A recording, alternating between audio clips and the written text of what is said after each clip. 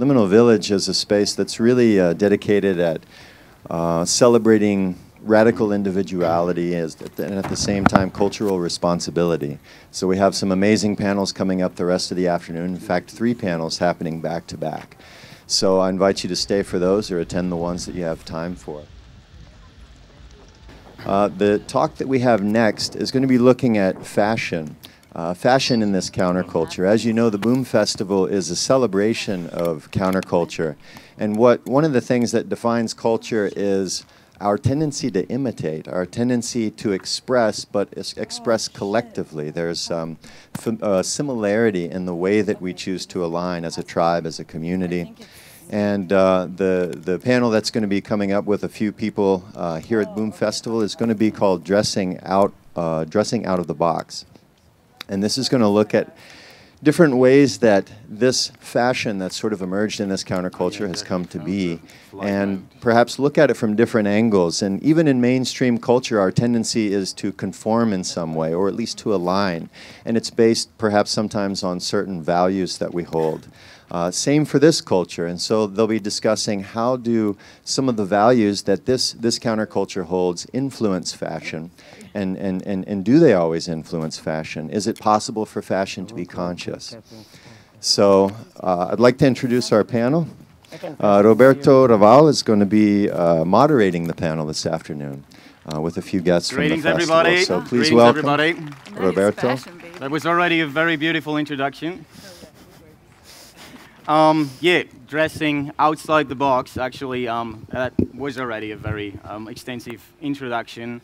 Um, we're here at Boom Festival, and I think everybody had the experience that this is like a parallel universe, like a counterculture, a living counterculture, uh, a very vibrant counterculture. And still, if we look around, there are things um, that are similar to mainstream culture. And um, today we want to focus on um, the visual aspect and um, on the boomers. So we talk about fashion. And um, to do so, we have um, some fashion designers from this scene. Um, you've seen their clothes in the shopping area. You've seen their clothes wearing, people wearing their clothes here at Boom. please welcome Pedro from Natural Wear. He's from Spain.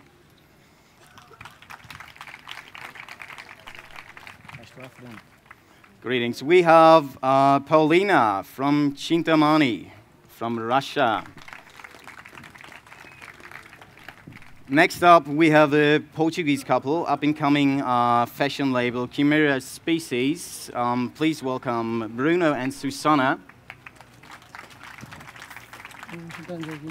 And last up, I think most of you who are into trance fashion know Psylo, um, and we have here Kirsten for Psylo Fashion.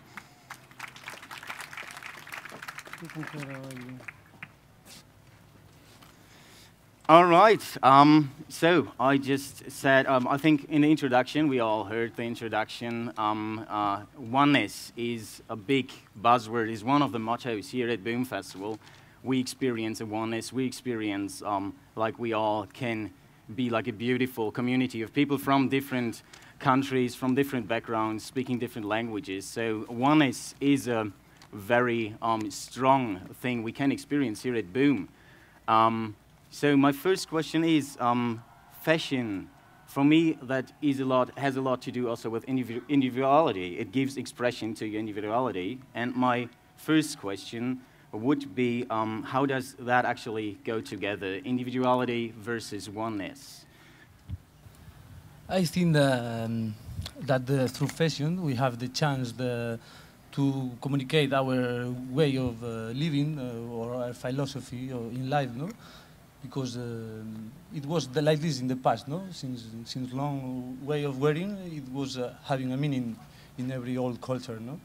So now I think that through in this time of uh, commercial, no, in every subject we go, uh, that the, I think that wearing the small project fashion, uh, we have the chance to to make the difference, no, and uh, to give a small message about uh, how we live, what we like, no. And that manifests in the way we, we dress, of course. Um, yeah, and all of us we we are wearing clothes, so yeah. I think the, it, by choosing the materials you wear, you can get different energy also finally you can use uh, fibers, natural fibers who has uh, different properties, even in the more practical way about if it is smooth or breathable, but also some uh, protective um, energy as hemp, no? It was a holy plant. Uh, Yeah. In the world, all over the, the, the, the cultures in Japan or in, in India, Himalaya, no?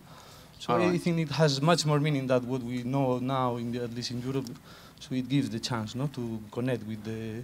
Let's stay one more minute with the um, individuality thing. Um, Fashion means um, giving expression to yourself, um, Yeah. giving expression to your personality, and that is individual, or is it collective? Actually, to whom how? Uh, I think that uh, fashion is a very good way how you can uh, release yourself. Like it's a sort of creativity. Somebody can sing, somebody can, I don't know, dance or something. But anyway, we cannot know each other, uh, and we can feel each other by how your soul feeling yourself, or I don't know uh, how you are looking like. So it's, um, I think it's very individual way like this. All right. Um, you have any thoughts um, on, on that? From you, you just started your fashion label, is that right? You're pretty new in the in the business, in the in the trance fashion business. Yeah, we are oof, we are working for three years on the fashion business, and in the end, what we do, we do it for ourselves. When we are thinking, we are thinking, I want this for myself, and then because we make maybe part of this community, peop other people will enjoy it as well. But in the end, it's uh, what I want, when I want it, how I want it. All right. Kirsten, do you have any um, any thoughts about um, being individual in a in a big crowd, in a oneness? Um, you have any thoughts about that? Yes. Can you please pass on the mic? So um, we try to. Psylogo started actually also on trance festivals, the, the idea, and um, so what we try to do is we try to combine all kinds of influences from all over the world, different tribes, different symbols, religions in our clothes, and it's um, for me it's beautiful to see that people from all over the world wearing shirts with different um, uh, writings in Hebrew or in Arabic or uh, or influence from Japan, and this is this is what we try to do. Uh, um, this is how we try to express the oneness. That there's no, um, there's there should be no order what each person should wear or each tribe or each culture. We try to combine everything and then sell it to everybody. All right, but it's a, um, a nice inspiration. So you take inspirations from all over the world and Yes. you just make them available as kind of part of the um, vibe we experience here at Boom. Um, I just want to come up with an example you probably know, probably don't. Um, there's a party, a festival very, very different to Boom. Um, called Sensation White. I don't know if it's still happening. It, it used to be a European event, Sensation White. As the name implies, the idea of that festival was like a commercial trance house thing. I think first happened in, in the Netherlands, in Amsterdam. The idea was there was a dress code, a strict dress code, and that is you may only wear white. So that was part of the experience. Everybody, you were allowed to wear like I don't know, boat shorts or, uh, or whatever you want, but only white. That was that. And um, so the idea was probably um, to inspire fantasy and just to look at like people and look, look more in, at the eyes. And of course, people started wearing like special white clothes and all that. Um, what is your opinion? Is that like we, we now want to talk a little bit about the spiritual aspect that um, evolves from wearing clothes and seeing people around you. I mean, um, for all of us, it's a beautiful t- experience to see all these multicolored people. Um, on the other hand, could you imagine like a boom in white? I would not sell nothing. All, most of our stuff are black. There was actually a Sensation Black, as far as I'm. There was like there was more like um, up-tempo techno. I think there used to be a Sensation Black. Um, but in terms of, um, do you think um, you just said you mix different influences? Uh, Kirsten just said that from uh, she she she's mixing um, different influences from from the world to inspire people to have that feeling of oneness. Um, if people wear your clothes and if you see other people um, wearing your clothes, what do you think is the effect on the state of mind, on the mindset of a festival? I think the, there is two parts on the clothing that the, some part is more conscious, that is about the design and about the colors, and some other part is more into the real properties, no, energetic properties of the clothing or the intention you do, even the, how the system, uh, the system you follow to produce the clothes is in the clothes. I think, no, it is really going very deep, no, and so it, I think it can change a lot, not only because of the clothes, is sometimes I feel this in the shop, no? that people come to buy the clothes and they really like the concept and the way of life we have, all of us. No?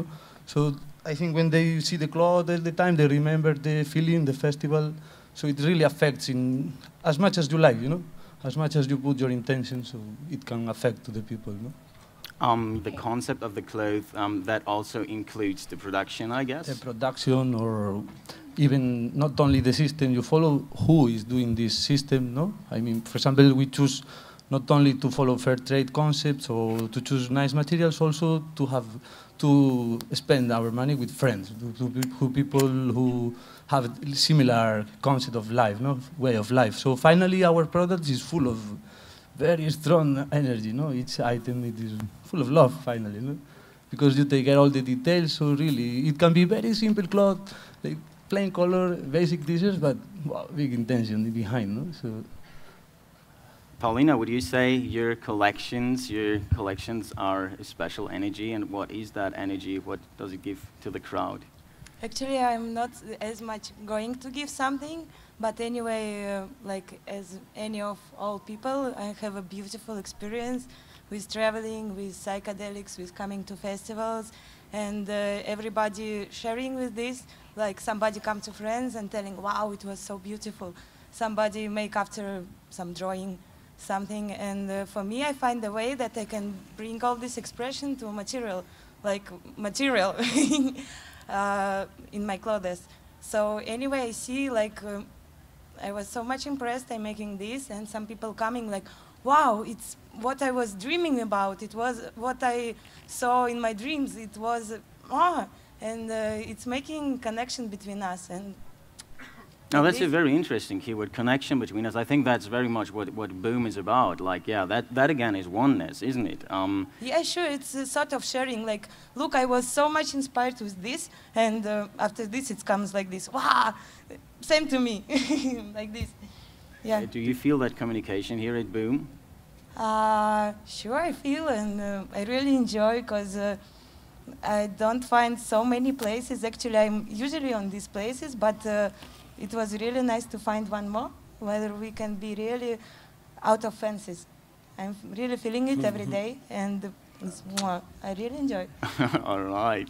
Um, dressing outside the box. Um, I just, um, we just talked about inspirations and communication at a festival, um, uh, how uh, clothes and style of clothes can actually be a form of communication. Um, is your collection inspired by festivals only, or do you draw inspiration from other areas outside festivals? I think it's a little bit from everything, from all around the world, on festivals for sure, on movies, on BD, a little bit of everything our inspiration for sure, no? Comic books. Comic books. comic books. Dark side and movies books. are beautiful. Everybody loves Marvel when they are kids. Of course. so give a little bit of expression to our alter egos. Do you see a lot of comic characters around here? You see the cowboys, you see the ninjas, you, you see the pirates, the pirates, the sailors. You see a lot of the fairies, the, the, the fairies, the punk rocks. You see a lot of different kinds of. Do you think that is like? And a lot of combinations. The most nice of, of it all is the combinations. Yeah, um, you just said um, we all like comics when we were kids. Um, I still do. And so, um, are there actually? Um, do you think that dressing up is kind of like children dress up and give yeah. try out things? Yeah. Or? In a way. Yeah, but we try to mix also with. Uh, Maybe for women not so times. much. yeah. Women like to look better. We like we like to we like gadgets. I think men like gadgets, women like to look good. Would you agree, uh, uh, Kirsten? Would you agree? Men like gadgets, and any thoughts about that?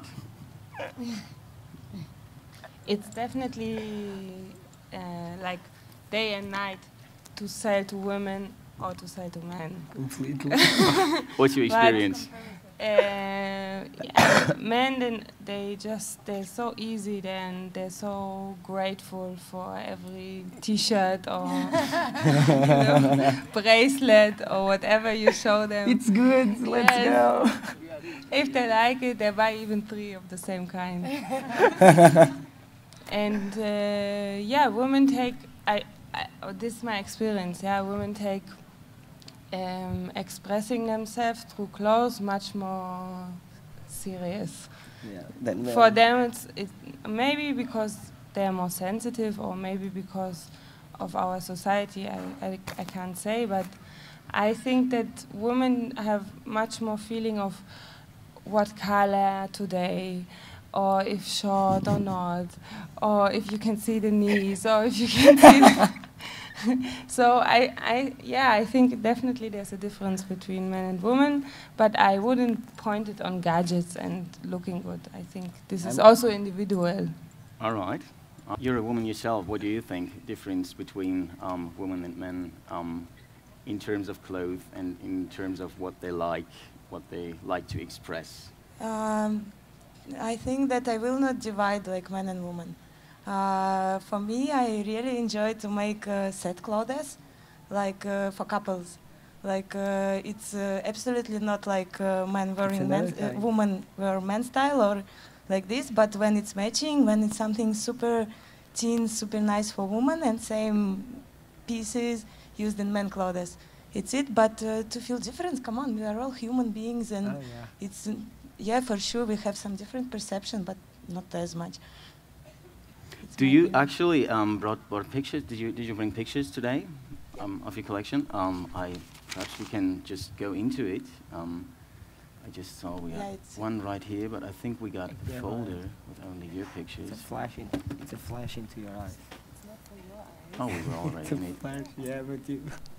Yeah it's me That's you folder, yeah. Amazing. not not like me but my clothes Yeah. yeah All right. Um, uh, what about your style of producing clothes? Um, how what how do you make a difference in terms of the production? We talked a little bit now about what you want to give expression to, what clothes um, can actually be used for um, as a in, in, in oneness or as a uh, item of individuality. Um, if you produce clothes, um, what's your approach? Where do you produce? Um, do you do it yourself? You have a team?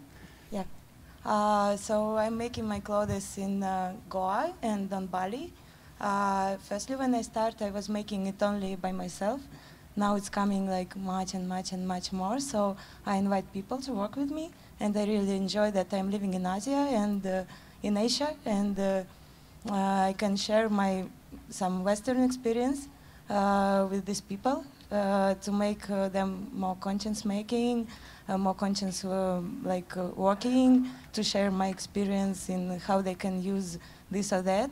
Mm, about some style I, it, it was some task in some festival to define like what is the style of my clothes it's tribal? It's uh, something? I don't know. Really it's very hard to define. I just really it was correct my colleague uh, tell like you feel that you want to wear something. You don't find it uh, all over around so what you can do? You can go and do it. And for sure there are hundreds of people who really enjoy it. Uh, what should it be? It should be comfortable. It should be more or less natural. It should be Should it be organic? yeah it should. Actually it's very questionable because uh, in this our kali yuga it's uh, almost impossible to be really organic. Every factory every production is anyway have some poison making some poison. So what I, and anyway like as for stretch cotton uh, if you use 100% cotton it will not be very good quality. You should add some 5% lycra and it will come good. People will really enjoy it five years. If you use only cotton it's almost impossible. So like in our uh, making things we should always find this balance like to make it organic but still quality to make it uh, i don't know sexy but still good. No, but not too much, because uh, this is what I want. Uh, what I make is what I want to support uh, in a support in world, world around. What I want to bring to the world. So it should not be ugly. It should not be too much. Yeah, it's it's always some next step is a balance, balance, balance. It's I would like to go a little deeper on that point. You just said 100% organic is not working. I think that is a very interesting point to talk about um, because organic, um, obviously, it's a very big issue today, and many, many people claim, yeah, we are 100% organic. You read it all the time on food, you read it on clothes. Um, can you go a little deeper into the actual process? What do they do with a fabric? Um, why is it better to add those 5% of synthetic material? Uh, maybe because he's, I know, really very good specialist in uh, these organic styles. Of course, let's uh, let's switch to our organic specialist. Not the organic specialist, just uh, we reach the point of organic, so we start to get more and more information, no? By doing, by making productions, because I start from zero also. The thing is, I think uh, instead of you, I think that is possible to make organic still. Just the, the thing that you have to spend so much time is not easy, no? But no, because now became f- kind of commercial, also organic in every business. in- Absolutely. yeah. Organic so sells. also in fashion, no? Organic so, sells. so much. The most of people who, as factories, they now they have also organic fabrics, no? For example, the thing what I think is the best is to produce in factories where just you they use organic fabrics. This is the first step, no? So the owner of the factory for sure will be organic freak. The thing is the certification you talk Yeah, about. and uh, so after there is so many certifications, no? So for example, there is one I think maybe in your brand also use Psylo, and uh, this GOTS certificate in Europe is somehow one of the best because they take care of from where is grow the cotton, and they make lots of the cotton, so you can control even with by the CU number in which container or which truck moved to uh, the factory, so you have you can have a real control, no? All right, and that is like a non-profit organization or um, Uh, no, no. GOTS is a, a company who certificate another companies who, is, who are into growing cotton or manufacturing cotton or making threads. Mhm. So you can trust them more than another ones. All right. And even also you can make. Uh, there is another kind of stamps that you can analyze the clothes. So Mhm. you can we can follow the stories the, of suppliers, whatever, but we can analyze. So we can see what is going on there. No, if there is chemical, harmful chemicals, heavy metals. So I think the, it is still is, is new thing, but already possible because for us it's new. But in, for example, in Japan, already more than 25 years, they are making organic clothing and they are very strict. So for us is new, but it's going and it's something real, no? And also not only to get certificate fibers, also to choose which fibers. For example, before we were commenting, no, that the, now there is many bamboo fibers Yeah. that No, they, they are maybe organic f- They growing. came from China. They have certification. They are organic, but the process to make bamboo Yeah. into a piece of cloth. Yeah, the farming was It's, uh, organic, it's, but the process it's poison. Yeah, it's more che- harmful it's than the chemicals on the field. So in the end, is it organic? The Chinese say it is, but in the end, is it? That's a very interesting point, I think. Um, can, can you perhaps also um, explain that process? He has a microphone. Um, uh, can you explain that process again? You said um, the bamboo is grown in China, and what happens? No, in China they have a lot of factories selling organic bamboo. okay. But then I, I read uh, in, in the newspaper about, about it, and it was that the entire process to make the f- bamboo fiber into a piece of cloth, it's chemical. And the chemical in the end is not so organic. And then I see many people saying I have bamboo, co- uh, bamboo lycra. So in the moment you put lycra, it, it's not organic because lycra it's not organic. That would be end. like a vegetarian sausage. I'm a meat eater. Yeah, yeah, it- but in the end, many people say, "Oh no, I have bamboo, organic, uh, lycra, spandex, whatever." All right. Or if And- not, they, they have like a piece, they say it's from hemp, for example, but that then puts metal buttons. So And the process to cast the brass, it's no longer organic. organic, or the print, or the dyeing. I guess you guys in your collection, organic, is that an issue for you at all? It's not a question of it is or it isn't. For example, many times I see alligator skin, and I don't eat alligator skin. I don't eat alligator. if I would eat alligator, probably I would use alligator skin. It's actually very fox delicious. Or You know, for example, I refuse to wear a fox. I Okay. don't see the point of wearing a fox. All right. most what we use is cow and goat. So it's two It's eatable. animals that we eat. The earrings are made of bone and Horn? horn, so it's the rest. So in the end, you use all the animal. The problem is we are too many and we eat too much meat. All right. I think that's uh, the panel tomorrow. Um, eating eating meat. Um, but okay, so um, no, just about the leather. do just you do you actually leather. care um, how these um, these animals lived? Um, i- is that an issue for you, like the farming? That I think it's for the panel tomorrow. because that, in that, then again, we are talking about food. All right.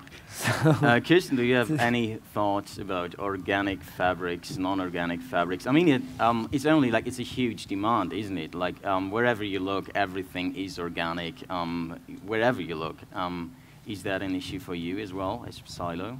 First of all, I want to say that I'm um, I'm the wife of one of the owners. It's not my company. I'm just representing them. And when I was talking to the designers and also to the owners, I asked the same question, and uh, and they said that for them or for us as Psylo, we we we put focus on something else.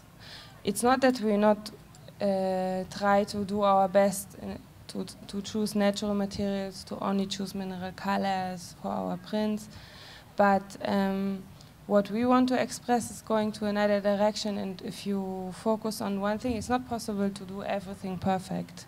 So we we we buy as much natural natural um fabrics as possible from the area in Indonesia, only from there. And we will in our new collection we we will make one collection with only natural organic cotton. But it's always an experiment. You never know what you work with materials, and then you make you make samples and it's beautiful, but you're not wearing it for one year to see how it go, how it works, Mm. and then you make one production and then you get feedback from from, From the, the people, people. that buy, and then you do it better every time. You do it better, and you try to do some something else. So. We are not focusing on being only organic. Our focus is in a- another direction. If you work at the shop here at Boom, do you get a lot of requests like, um, "Hey, do you have like an organic collection?" Is that a big issue? Uh, yeah, more and more, especially men. I have to say they ask a lot. All right. what is- Ma- a I see the man next to you nodding. So Fake you get it. leather. A lot of people ask us for fake leather. Not fake. But it's called vegan leather. Yeah, but vegan leather. yeah, Yes. but yeah, but in the end, it's it's it's rubber. Yeah, it's made of plastic. It's made of plastic. It's made of plastic. So Um, I think at that point, um, Paulina would be um, a very interesting um, uh, speaker because um, she actually, what she's wearing At least the on her we have hat is is a feather, but it's not a feather. Yeah. Can you tell us about that? Yeah, actually, uh, what I use in uh, my things, I make jewelry, I make clothes, and I make shoes. Uh, I'm trying to make all vegetarian. It's m- part of responsibility which I can really take for me. About this organic, not organic, I think this is more fashion. It's uh, all over the world fashion to be organic, to be natural, but uh, not as much deep information about it. That what, what, what can be organic, because even cotton production is very, very poison. Really, people who work in India on factories who, which make cotton, it's um, really they cannot work mm, long time there. But it's still 100% cotton, very organic, so it's something not to be exactly defined.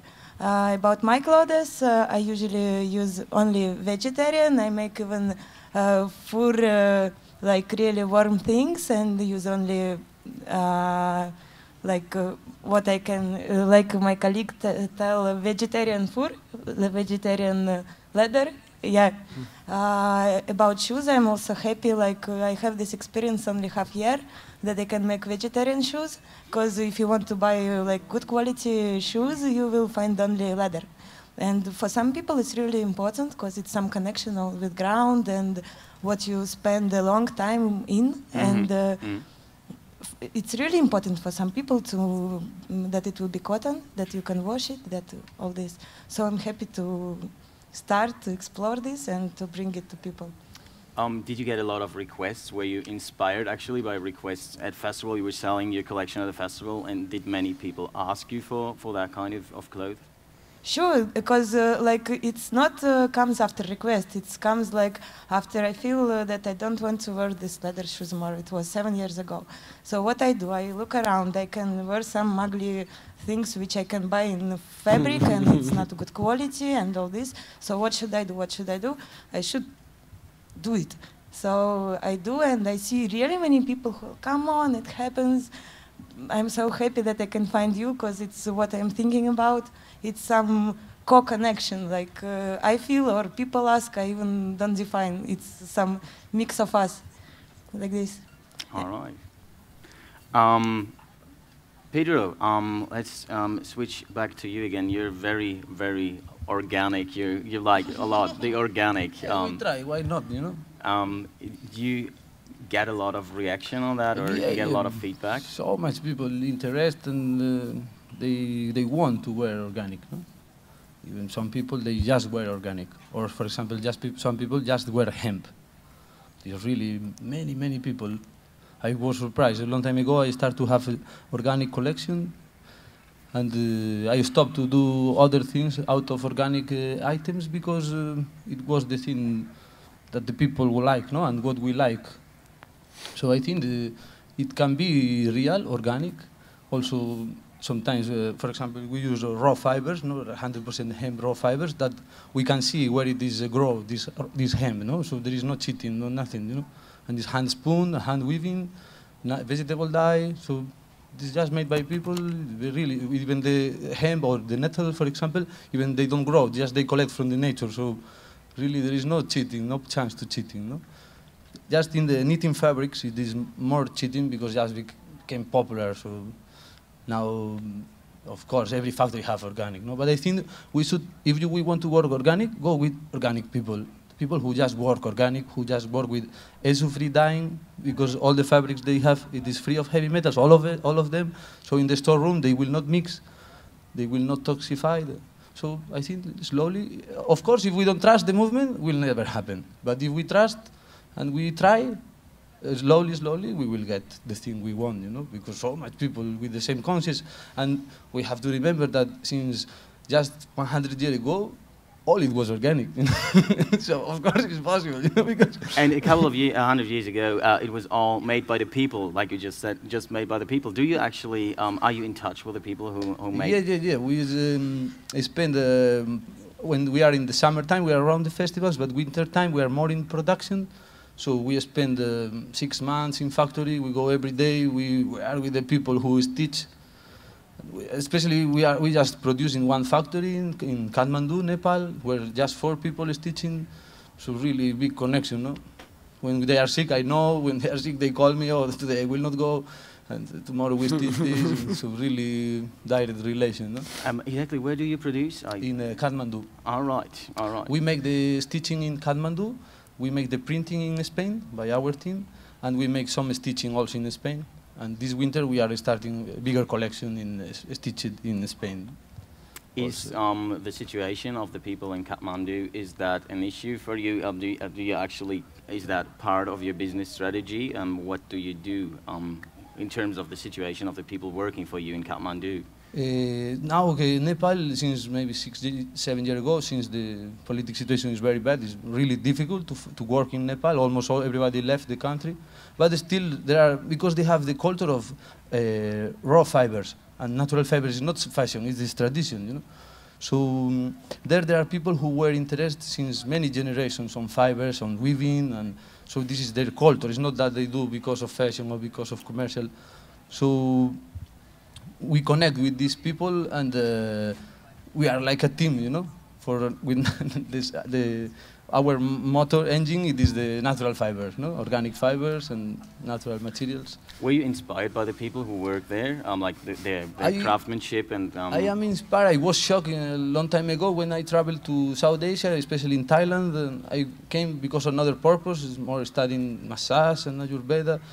And I surprised how tribes and how village people still they make natural dye, they make the fibers, they make the threads, they make the fabrics, all the ceremony clothes are made by hemp or natural fibers, and they make vegetable dye and batik. Still now, today, these days, they are doing every day. No, so I was in shock, like, wow, it survived. this is not a story. This is just it's still alive. No? And so once again, they use barely any chemicals, any stuff they don't get directly from nature. Is that right? Sorry, sorry. They, they use barely any chemicals for that. What you what you what, Uh, the- the about the, what I am talking, these tribal fabrics. Exactly, yeah. Yeah, they, some of them, of course, they already they are using chemical dyeing because they are on the market and people have not the knowledge. They don't do this because of uh, fashion or they do just because it's the tradition. They especially indigo, in they use indigo for making the dye, and yeah, and of course, chemical things are everywhere, no? But still, people is. Uh, is their tradition. For me, it is just something what I discovered, no. For, but for the people I work, it is the, their life, no. And is it possible to do that in like a, a, a high number, the production? In volume, yes. The, of course, it's possible. Just they need uh, we need organization. I think, no. Just this. How does it look like actually? How does your production look like? Is it like a big um, No, warehouse or no, um, very like a factory? One or- small house from outside looks like a home, family home. In each floor, one the room, and down is stitching, uh, storeroom, cutting, an office where we make inspiration, designs, and four people is stitching. No, two people is stitching, one cutting, one finishing, and another just the small jobs.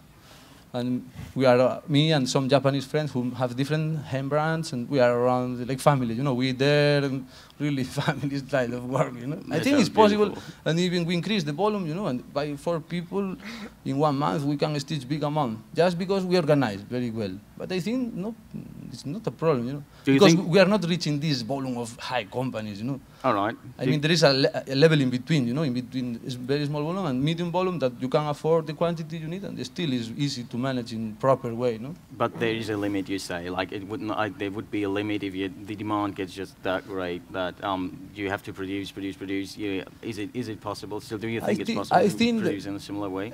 Sometimes in business we spend so much time just for how to make the business and the money, and not much in organization and how to, to feel the people if they are happy or not.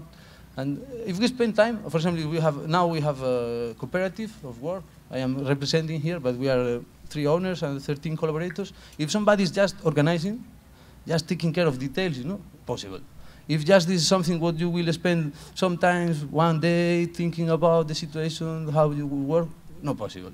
But if somebody is 24 hour working and thinking and focus on to get something, possible. That's beautiful. Yeah. That's beautiful. Paulina, can you tell us a little bit about your, like, describe the production of your collection? Um, how does it look like? Is it a factory? Um, can you describe a little bit? Uh, yeah, uh, sure. Uh, it's uh, still not a factory. It's uh, like limited editions. It's what I like because uh, uh, factory production it's everywhere. It's uh, every city you can come, you can find this crazy like unconscious. I, I name it like uh, uh, dead uh, dead fabric like this. It's don't have soul. It's don't uh, not so much telling something. Uh, so it's very limited editions, and mostly I make hand printing. I have a great, beautiful workshop in Goa, and I put printing by myself, and it's it's really organic way of printing. Like uh, I remove color, which was put in on the fabric. Oh, It's- exactly what is that? Uh, it's uh, like bleaching. I remove with oxygen uh, color from the fabric. It's a way how I print. Also, I print a bit uh, of um, traditional Peruan uh, motifs like uh, ayahuasca patterns, because it was my great inspiration to do something. She really like push me, like follow your route, like do something, like uh, bring uh, to the world what you can want to see there. So uh, part of my collection is about uh, Madre Ayahuasca, part of my collection about uh, sacred geometry. For the moment, it's like I can't find better motifs for to release. Maybe after will come, I don't know. Um, I have a production in Goa and I have production in Bali, and I'm really happy to work with local people. Uh, but it's still uh, like uh, three for tailors, uh, which sharing responsibilities, same as my colleague, like somebody cutting, somebody stitching. Uh, Are you in close touch with, with your employees in Bali and in, in, in yeah, Goa? sure. For me, I'm full freak about with whom I'm making my stuff. if uh, I feel that person is somehow look, not looking to the eyes, something, this, uh, I'm trying to make him straight. Uh, if not coming, I'm not working. Because for me, it's really important. I want, uh, like all of us, to be in a conscious way of uh, communicating, of making things. And there is no reason to start making something if somebody is about his own reasons. So I really try to find people, even if it's person who print my cards or person who I don't know whatever like all parts uh, that it will be really straight for me it's really important because if uh, I'm working in this way I really enjoy and people really enjoy and we make what we make we don't like we really live with it.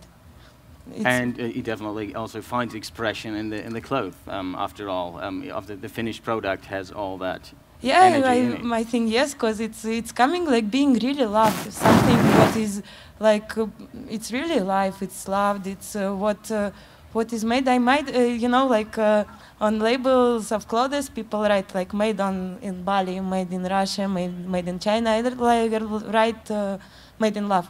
Like um, for me, it's like this. All right. It's what I am about in making things. All right. Um, we have in Bruno and Susanna, you would be the next. We have we have made in planet Earth. On planet Earth. in big one, then we have to have the one where it's actually made because of borders and tax purpose. Where would that where, where, where would that uh, be on uh, planet in Earth? In Indonesia. In Indonesia, yeah. all right. And um, are you living there? Are you in close Most touch with of the, the time we pass there. All right. We live nine months a year. Uh, we we have our own workshop we open in December. For details. Uh, just for to make the leather, so the accessories. And then we work with other five small factories to make the shoes, the clothing, the metal, the jewelry, so separate. And many of the pieces are made in all of those places, so some of the pieces take long time to make because they have to wait for one place to finish for the other to start. So in the end, one piece can go into five factories just to be made. all right, but you, you're in touch with all of those yeah. factories. Yeah, they, they it's even, just me and Bruno, so we make And they even come to our house to eat. We invite them to come on the Sunday to our house to dinner. All right. We Portuguese are all about food. all right. So I noticed that already. Inviting yeah. people to your house to eat, it's part of it. Beautiful, beautiful. Um, Kirsten, can you tell us a little bit about um, how you produce, uh, like a little more exact? Um, exactly, we have some pictures from you, so we can start those pictures. How does that work? Okay, so um, hmm? The project Psylo exists already for 12 years. And we have a small factory in, in Bali. Uh, we have 60 people working for us, and most of them are with us already for 12 years. So we know each one of them with name, and we know the families and and the children, and and yeah, it's we have mostly men working on the machines. We have a few men making the prints with the, by hand. Um, exactly where is that happening? I see you have like three different um, uh, places here. So you have Bali as well. You have um, in Koh Samui, and mm -hmm. you mm-hmm. have in in London. Um, are you talking about Bali right now? Ba the production is in Bali, yes. All right. Um, so we have and some pictures uh, from Bali. The partner of my husband uh, and designer of Psylo, he's living in Bali together with his wife. They take care of the design and the production. So they're every day in the factory and every day working with the girls in the office. So it's it's really it's it's a family. It's not just a factory. And we do everything in this factory. All our accessories, the clothes, the hats, everything. All the organization of quality control, of shipping, everything is happening in that place uh, two years ago, because our factory became too small, we bought land and we built a new factory and we have much more space now and it's not so close to the city. It's it's in a beautiful area where there's much more inspiration also. All right. All right. Um, so I hear a lot Bali, which undoubtedly is a beautiful place. I hear India. Um, I have to ask that question to all you guys again. Um, Asia, obviously, I'm wearing clothes pretty much from Asia, and they were produced in Asia because they, it's cheap to produce in Asia. It's very cheap to produce in Asia. Is that a factor for you, hands down? Um, cheap production? In the end, not so much. In the end, for me, going to Asia was for more for the quantities, because here in Portugal, you have really good quality on producing. But the thing is, you go to a factory and they ask you 500, 1,000, 10,000 pieces Of the same. of the same piece, like 10,000 pants, just the same. All right, that is something you find So, in Asia. And in Asia, I can make it smaller quantities. All right. And obviously, my father is not uh, Rothschild, so I cannot say I want to start a company and make 500,000 pieces. You know, we start with very small quantities. Now we are getting bigger, but it's still not thousands and thousands of pieces. Uh, um, we are producing in Indonesia because this is where the idea of Psylo was born. My husband and his partner were living, traveling and living in Bali for two years, and they were just partying and doing things. And then they had the idea to to make the perfect um, festival pants, and this is how everything started. And actually, I fell in love with the place. Bali is really beautiful and uh, it's far away from from this world. It's like a bubble. It's so paradise and everything is beautiful and Paradise and chaotic. yeah, of course you have everything everywhere. But but they fell in love with the place. That's why i decided to stay the, in Bali and produce there, not because of because of anything connecting to business. And actually, uh, more and more we're thinking about moving to Europe because, um, yeah, because I think it's important to support other countries and not to, you know, it, everything gets very commercial in Asia because everybody thinks he can do clothes and everybody thinks you can do that and then everybody comes and then you have bigger factories, they're producing more and so that's why we're thinking to move to Europe actually. And I have other friends, also my friend Cassandra from Ofrendes, she has a shop here also. Also them, they, they found beautiful places in Portugal and they found exactly what they need, exactly what they have in Bali also. And they said, yeah, why not, why not to change, why not make an adventure and move to a different place and work with different people and try to create what we want to express in a different place. I just wanted to say, um, uh, uh, Portugal, the economic situation is, I think, very difficult um, in, in this country at the moment. Um, so, um, wouldn't it be great to get your production to Portugal? Um, apart from the fact that it's difficult to get low numbers, um, wouldn't it be beautiful to get it to your home country and like no, the intention is to come back to our own country. Just the details, some of the details we have to keep doing there. But the intention is to come here. Even the quality is way better. all right? So if you want to achieve a bigger market, you need also better producing quality. And here in Portugal we have it. We have all the machinery, we have all the technical skills to do it. So Paulina, you have any thoughts about um, why you produce in the places? I mean, obviously beautiful places, Bali, Goa, beautiful places to live and to work, but do you have any thoughts on um, the production, the conditions of production there, um, speaking of wages of the people who work there and, and these things? Actually, it's anyway mix of all, because uh, uh, my project is traveling with me, and uh, when I'm even in Moscow, I have people to product something there if I need, if uh, something finished, if some very nice idea come. Uh, when I'm in, in Goa, I work in Goa, and when I'm on, on Bali, I also have very beautiful people to work there. So it's not so much uh, cost with the price, and actually, even I want to tell that uh, to work with really qua- uh, qualified people in Asia, in Asia, it's uh, coming uh, same price as you are making in Russia. It's uh, not running for some money, it's for sure. And uh, anyway, like all project was coming from inspiration from these places. So even when I take, uh, when in Moscow, I take pieces from Bali. It's like really it's smelling with this uh, beautiful um, everything, beautiful Balinese nature, beautiful. Ah, it's uh, wonderful vibe. So it's inspired by all uh, with all places where I am, and uh, it's made in. It can be made actually anywhere, anywhere, just uh, where I am and where I have inspiration. All right, Pedro, you have any any thoughts about um, like uh, the, the the treatment of the people who work for you? Um, Yeah, of course. Uh, I think very few people who have brands uh, uh, like us doesn't doesn't go to Asia because of the price. No? This is uh, like a kind of mythic thing. is it is it really a myth? Yeah. Yeah, a little bit.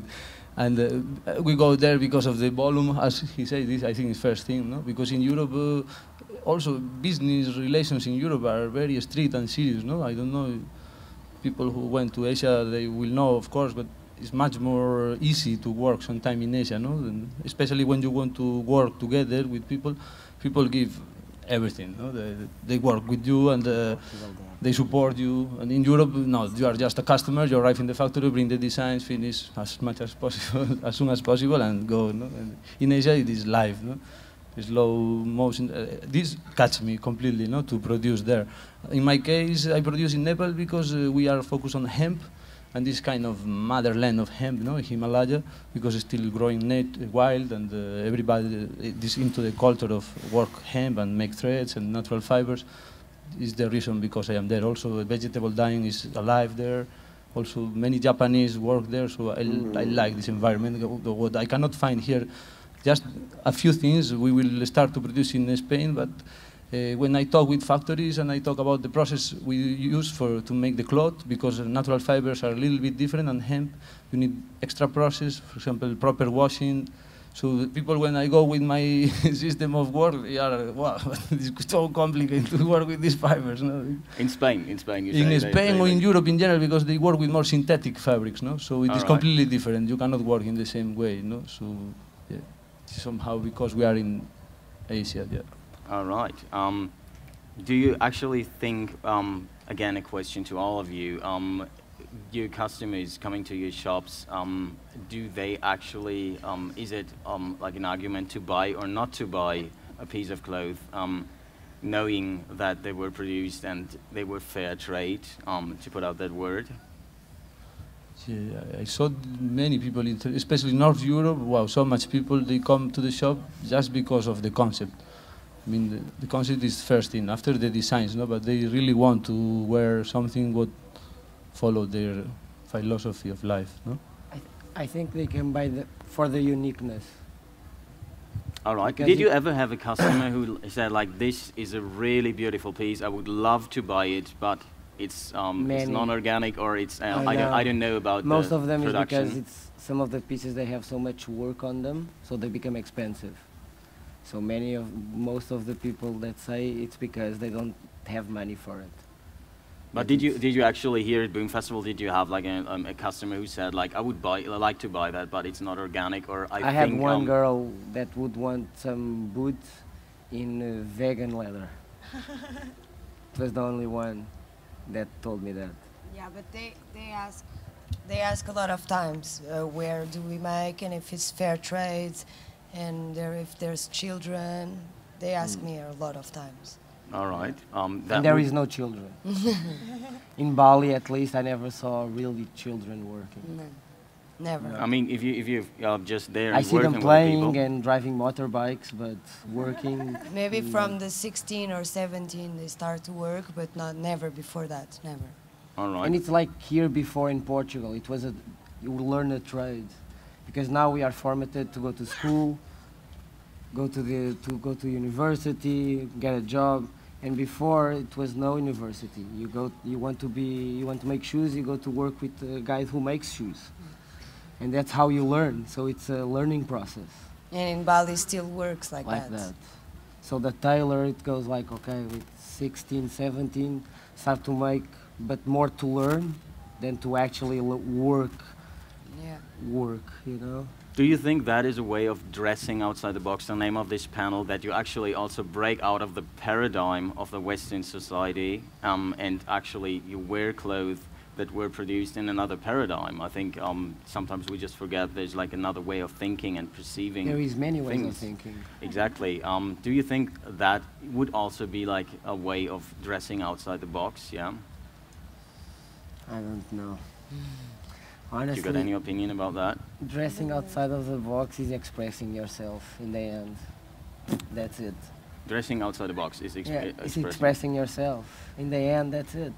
All right. If you are organic, vegan, if you are the cowboy or the pirate or whatever. Where do you see the collective in that? If you say it's all about expressing yourself, is it just like like a horde of people expressing themselves, because or is there, there any is connection at no- all? In creation, there is no emptiness. You don't create from nothing. When you create is f- from your experiences, for what you see. And here you see a lot of stuff. You see, it's a place for a week that you have uh, loads of information for saying. But in the end, it's about information can come from everywhere. And in the end, is that like when you make many times I make stuff for, and my friends see it, and they say it, it's not for me you know, because they don't want to look a little bit different from the normal thing. All right. You know, they want to go to H&M and Zara and they buy exactly the same and they are photocopies, or slightly different. But then there are others that don't give a fuck. So, whoo you know. And in the end, dressing outside of the box is all about that. It's committed. You are committed with yourself, and you don't want to look like whatever. You don't want to look like whatever, so you want to look actually different. Like yourself. You want to look like yourself, or is, is yourself something different than the others around you? it's different, or- but in the end, it's the same. you know, this is a question about what starts first, the chicken or the egg. You know, because it's everything connected in the end. Pedro, you got any any thoughts on that subject of um, that giving expression to yourself, and how can is that actually um, just yourself? Is that your ego, or is there any connection at all whatsoever to other Yeah, I think the root of this feeling that uh, about how to express yourself, it is coming also that we are coming from societies where it seeks the uniform, you know, like uh, many in the police have uniform, army people have uniform, even some schools have uniform. All of us we are tired of rules, no, like. I, I was in the army. I had uniform. Uh, yeah, yeah. The only time I, I had a tear in my eye was when I see everybody in green and with a shave. it looks the same. You look 400 meters, you don't recognize nobody. But you don't think there's anything like a uniform for the psytrance community? It's a kind of uniform. But a uh, kind. representing a nice thing maybe so at least because uh, the, uh, as i said before this is a language of wearing it is in the since the past the way of communicate no and suddenly we have all this uniform from this army police and this but also this brand name uniform no? like whatever uh, you go in the world it's the same design with the same print the stitching with the same color it's kind of uniform no hiding uniform no?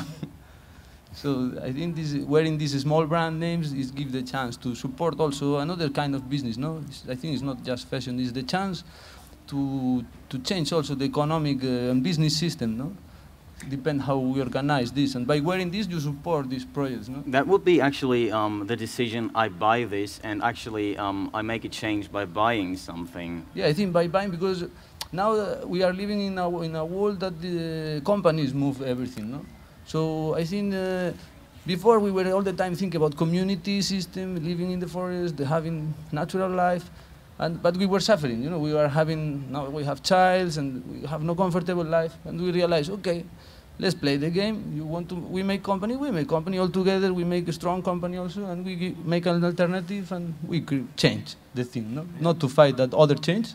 We will create an alternative. No.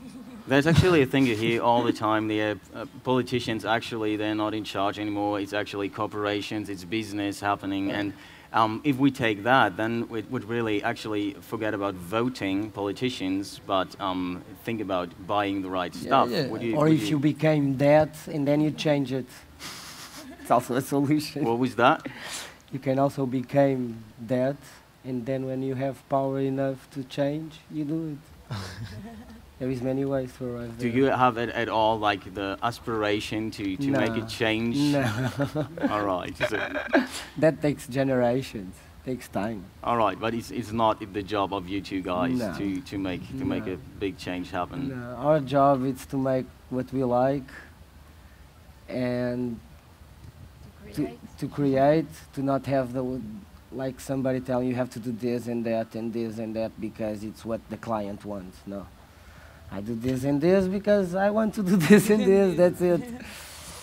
And at the same time, because in the end you want to create a family, you want all the, those aspects of life, and you have to play the game.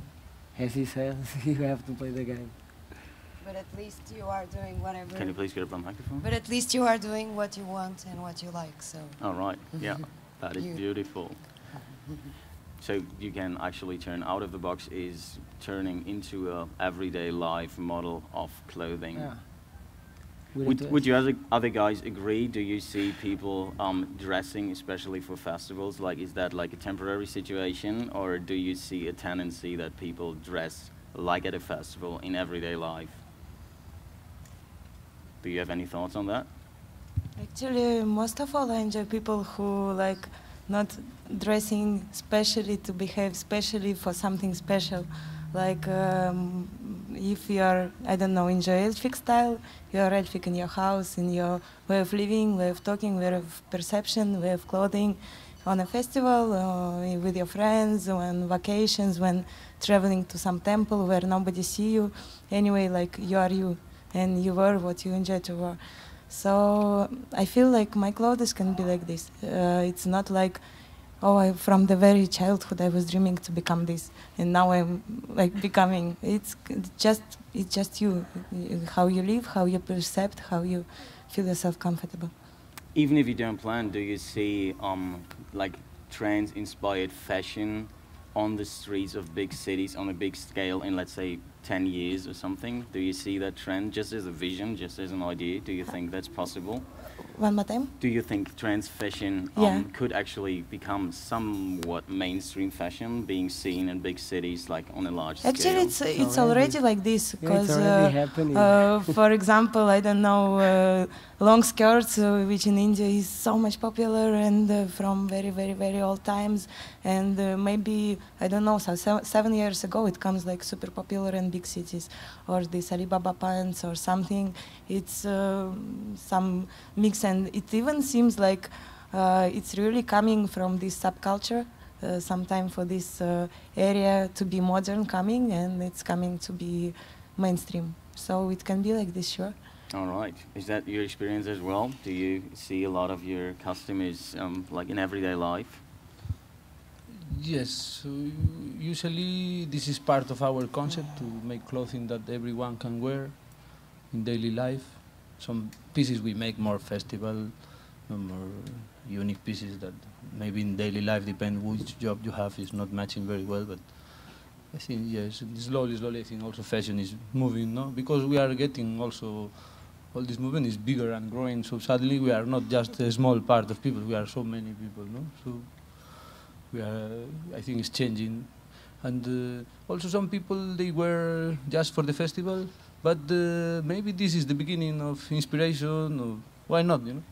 They You think you think there's any change in? I mean, um, No, in, the, the- in the in the in the no, in the wearing, but uh, why they decide to wear it is something going on there, you know? Maybe they are tired of their job, they come to the festival, you know, they are in stress. Exactly. And they say, I of want to wear the most uh, colorful from your shop, beginning whatever. of change. Because I want to break the, this rule, they give me this uniform every I time. quit, ma- I quit many jobs to come to Boom. Uh, And I quit one of them because I came to Boom.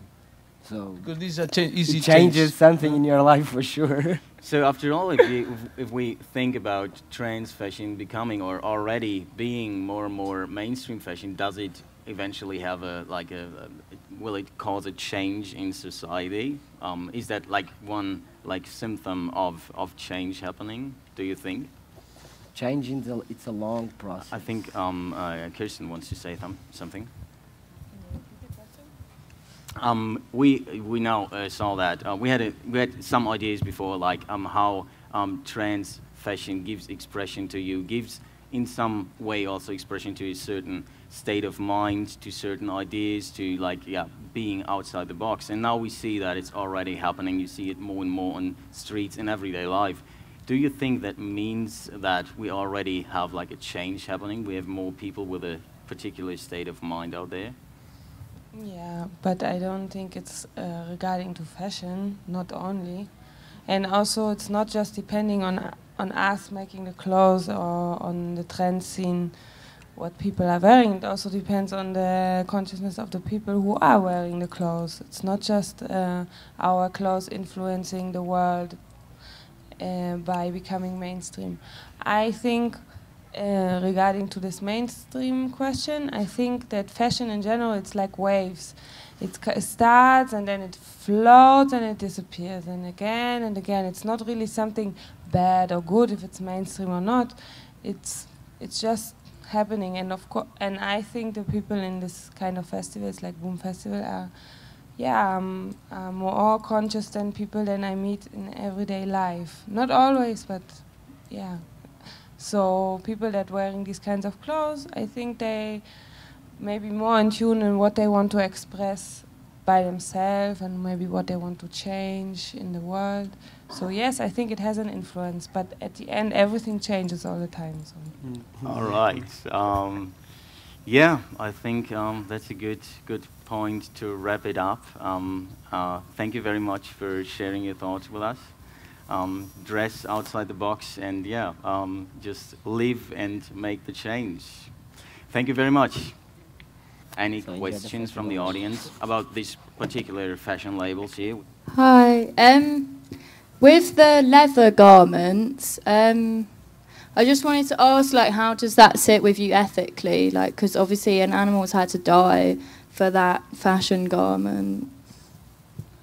Uh, thank you very much for the question think that was in a lot of people's mind. And yeah, um, it's more and more coming into the consciousness of also of the trance scene that uh, all the leather that we are using is from animals that had to die, especially for the leather. We all want to believe that it's an animal that we ate and we're just using the leather because it's a way of recycling, but it's not anymore, you're right. So um, what Psylo tried, we tried a collection with vegan leather and it was a disaster. and uh, yeah, but we are working towards this. We we are very aware of the fact that there's um, there's a there's a this problem that animals need to die in order so we can buy our 20th pairs of shoes or the 50th belt or something like this. But on the other hand, I think what I like about uh, all this fashion of my colleagues and also of others, uh, this scene is very connected to natural materials, and leather is a natural material. There's nothing in the world that you can compare to leather. It's breathing, it keeps you warm, it's tight like a skin. It lasts long time. It lasts very long. Yeah. So there, there is a there is it, it's difficult. It's difficult to find a substitute, or it's difficult to even, you know, it's uh, me for example. Also me, I'm vegan and I'm I'm not buying leather, but the ones that I have, the shoes, I'm wearing them already for 15 years because it's the best shoes ever, and I, I and I don't want to put myself into plastic. This is also not what I like, so it's it's difficult. It's difficult to to find a solution. Any other opinions from, from the stage? I better not to talk. I think many people will hate me after this. But I'm a meat eater. I cannot stop eating meat. I know I should eat less meat, that's for sure, but I will not stop eating it. And as long as I, as I eat it and other people eat it, at least I use all of them of the materials. It doesn't go to the garbage or to waste. Yeah, but you are not going to the factories, to oh, the no. places where they, ah, they where they eat, where they make the meat and you take from them the leather, the cows that they you are using. for sure. I don't. No, I would eat them. Yeah, but you are not in control of this.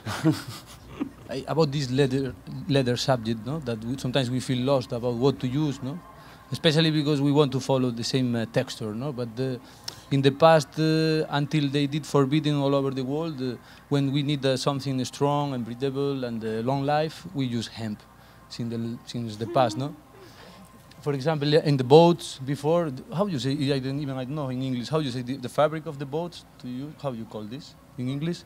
This big I'm fabric to use exactly wind, sure. uh, wind boats? Sail, a sail. Sail. Yeah, sail. Before all the sails were made by hemp, no? The in Portuguese the and the Spanish conquered the entire world on hemp past. On sails. hemp sails, on, yes. on hemp ropes and even, hemp clothing. Even before we were talking about uh, even Yeah. army uniform were made by hemp and nettle also.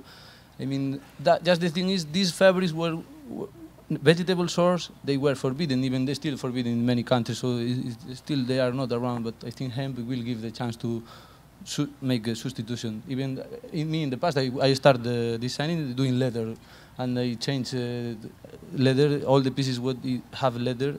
I changed by hand, and good result. Yeah, but You have not the same texture. You cannot get the same things. But, Not the same thing. but sometimes. I'm born in Germany, and there's almost six months snow and rain. It's very cold, and the hemp jackets not always keep you warm. And I know in Scandinavia, you know, 500 years ago, people were also. That's what they were wearing because it was cold. They were wearing leather because that's what they cover themselves with to keep them warm. So yeah, to find a substitute for this is not easy. Polyester. You want to say? Ma- I think also market is not ready for this subject. So just if many of our brands, many of the people are interested, we will have it because come on, we go to the moon, we go everywhere. this is not that the, now suddenly we need the, there is. So I think they we can create uh, another alternatives. Yeah.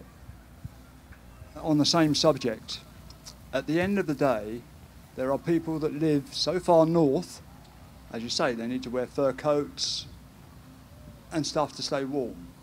They can't actually, if you go far enough north, be vegetarian because there's no vegetables up there, yeah?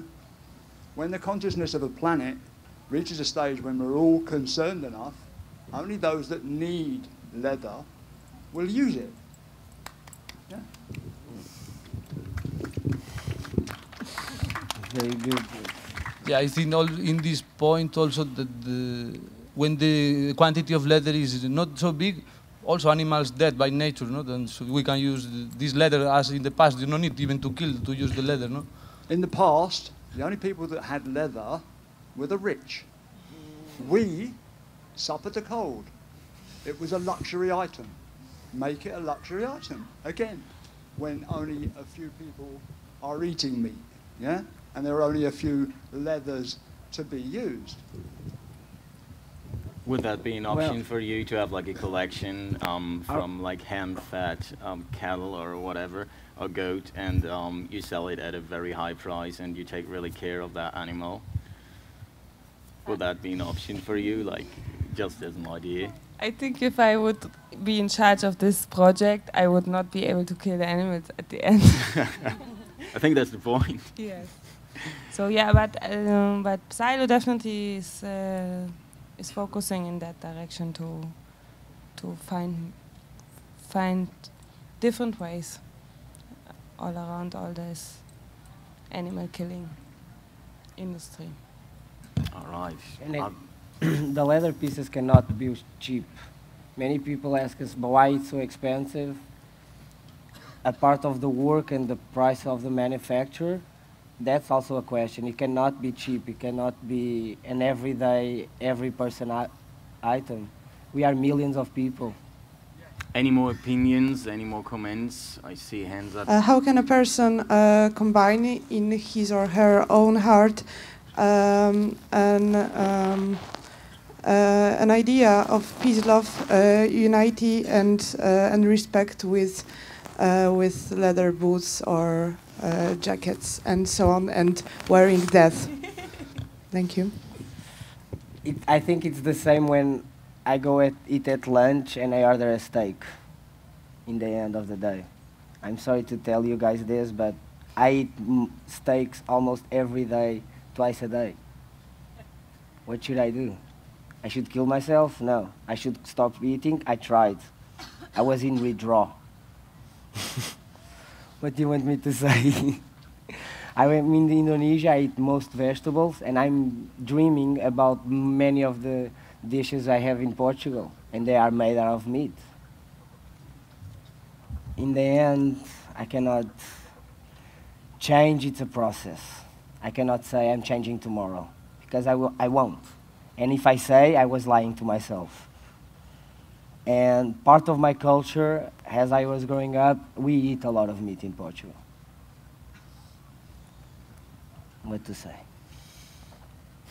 As this is a transformational festival, I was wondering if you work also on a more holistic base, like trying to actually transform the people that see the fashion that people are wearing from you, or that it actually changes the person that is wearing your clothing on a spiritual level, on a change doesn't come from clothing. Change doesn't come from. But could it be could it be Change possible? comes from you and from your experiences and from your thoughts. I'm just trying to say that, for instance, I mean, we're trying to uh, use less chemicals on our skin because it enters the skin and it influences even your personality. So I can just as well imagine that the colors that you wear, the fabrics that you wear, they make contact with your skin. And I was just wondering if you're conscious about that and if you're doing anything You try with to that. minimize it. Try to minimize what? Essence? No, to minimize the chemicals in contact with your body or the overexposure to all those stuff. But Well, I'm not talking about negative things. I'm trying to a- question whether you are actually provoking positive effects of your clothing, whether they are seen or whether they are worn. I honestly don't know how to answer that. That's beautiful. If they do, well, it's good. If they don't, well, Yeah, I think that uh, each one of us has his own uh, focus of uh, what we want to express with our clothes and with our with our projects, and it's not all the same. It's not that we part of the trance scene, so we all want to be organic and we all want to be this and we all want to be, everybody has its own expressions, and I can say for Psylo that uh, we are heading in a different way. We we try to uh, we are a peacemaking project. That means our designers is a couple of he's uh, the man is, is from Israel and the woman is from Iran, and the other partner, my husband is Israeli. I'm German, and uh, and we have many Muslims working for us in Portugal, and we all try to be all the time aware of the fact that we are not different from each other, and we're working all together in one project. This is what we try to focus on to to combine people. We we are responsible for them also. They make their living. They they feed their children. We try to influence them through making something with Psylo. But this is this is where we had. So we're trying to make it as natural as possible. But as I said before, we we put focus on something that is important to us and then we put focus on the other things and there's things that have priorities and yeah but we're trying uh, with every new collection we're learning more and we're trying to be more aware and we're trying to use different fabrics. We're trying to look for different fabrics in different countries. And yeah so we're trying. Uh, we came in a little bit late, so I'm not sure if I missed this at all, but I hadn't heard anyone mention it so far. Um, I love leather and I also eat meat, just to put that out there. But several years ago, there's a collective where I live in uh, Vancouver, British Columbia, that craft with leather and stones and they pride themselves on making sacred garments where we really tune into the medicine of the animal that's being used. And so I'm not sure if that was commented on, but there was a comment that came out about wearing death and all this kind of thing and using leather and um, if it's transformative and stuff. For myself, I know that it's been really important for me to tune into the animal medicine, whether it be goat or snake or buffalo or deer. Um, so I think that that's one thing that I just wanted to throw in at the end. Uh, and as far as the, the leather industry being fairly destructive and using a lot of, you know, a lot of leather is out there. It's out there. These industries are out there. And I think that the roots of it becoming a tribal um, fashion is that we're all a tribe which are using our collective energies to transcend negativity into love and into peace and into growth. And uh, so that's like this is the kind of comment that I wanted to put out there is these leathers that were sort of made in a harmful way. I think if we take it into ourselves and transcend the energy that was put into it in the way that we craft it into a garment and wear it and how we put ourselves out there in the world, um, that we're a tribal culture and getting back to the roots of those tribes. And that ties in with the whole fashion. And so um, I just wanted to put that comment about tapping into the medicine of the animal and transcending that negativity and destruction that's been put into that industry and using our consciousness and our hearts to transcend it. You know, thanking the animal for its life, that we can wear it and come to a festival like this and show our best colors or our best skins. So, cheers. It's a good conversation. Thank you very much. Thank you very much. That was dressing outside the box. Um, thanks to everybody. Have a beautiful boom.